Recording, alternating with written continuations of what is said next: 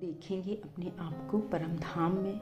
मैं आत्मा, ज्योति स्वरूप, बिंदु स्वरूप, जगमग जगमग, चमकता एक सितारा। और ऊपर बैठे हैं मेरे बाबा, ऊंचते ऊंच परम धाम निवासी, जिनका लाल प्रकाश चारों ओर फैल रहा है। और मैं आत्मा, अशरीरी आत्मा उनकी हज़ारों किरणों रूपी बाहों में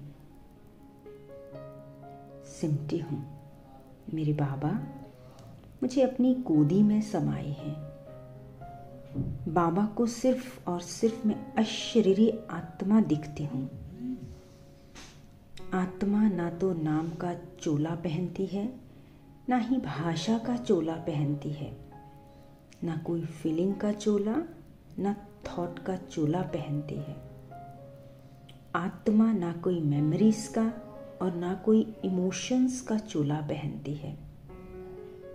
बाबा की दृष्टि, आत्मा को ये सब चोले उतारने में बहुत सहजता अनुभव कराती है। बाबा कुछ बनाने नहीं आया है, बल्कि ये सब छूटे चोले उतारने आया है। ताकि मैं आत्मा अपने सत्य स्वरूप में स्थित हो जाऊँ। सिर्फ़ और सिर्फ़ सत्य निरसंकल्प आत्मा, यही सत्य है। मैं आत्मा एक्शंस का भी चोला नहीं पहनती हूँ। किसी भी चोले से पहचान नहीं बनाती हूँ। जब बाबा की लाइट मुझ आत्मा पर पड़ती है तो मैं अपने सत्य स्वरूप को जानती हूँ। तब आत्मा में से खुशबू निकलती है। प्रेम की खुशबू, सुख की खुशबू, ये सब आत्मा से निकलती है। शांति, प्रेम, सुख, पवित्रता, ये सब खुशबू है आत्मा की। इसलिए आत्मा स्पेस नहीं है, बल्कि स्पेस की तरह है। आत्मा मन बुद्धि संस्कारों से भी ऊपर निरसंकल्प है। मेरे बाबा जेनरस हार्ट उदार चित्त है। जैसे बाबा का चित्त उदार है, मुझ आत्मा का भी चित्त बाबा की तरह उदार है। और चित्त में जो भी फ्लक्चुएशंस हैं, संकीर्णता है नैरोनेस है लिमिटेडनेस है, सब कुछ बाबा को समर्पित। बाबा हमें सिखाते हैं कैसे इस संकीर्णता से अनरस होना है और बाबा में ही एक रस लेना है। ऐसे में आत्मा शिव बाबा की याद से पवित्र बनती जा रही हूँ। पवित्रता मुझ आत्मा का निजी गुण है। मेरे संस्कार भी पवित्र बन रहे हैं। पवित्रता ही मेरा स्वधर्म है। अभी के श्रेष्ठ व शुद्ध संस्कारों से ही हम आत्माएँ भविष्य संसार बनाने वाली हैं। मेरे पिता परमात्मा पवित्रता के सागर हैं।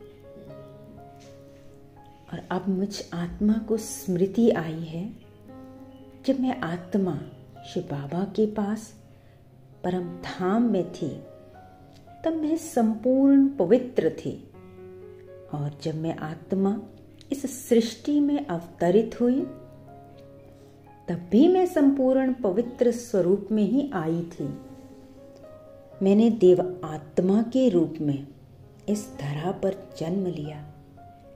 एक धर्म, एक राज्य के संस्कार ही मुझ आत्मा के निजी संस्कार हैं। मेरा किसी से भी लगाव नहीं था। मैं आत्मा अति पवित्र थी, परंतु धीरे धीरे देह के प्रति लगाव भरा। मेरी पवित्रता की शक्ति कम हो गई।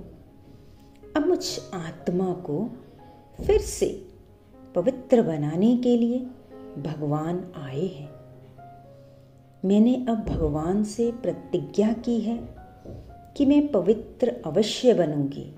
मैं आत्मा स्वयं में पवित्रता की शक्ति अनुभव कर रही हूँ।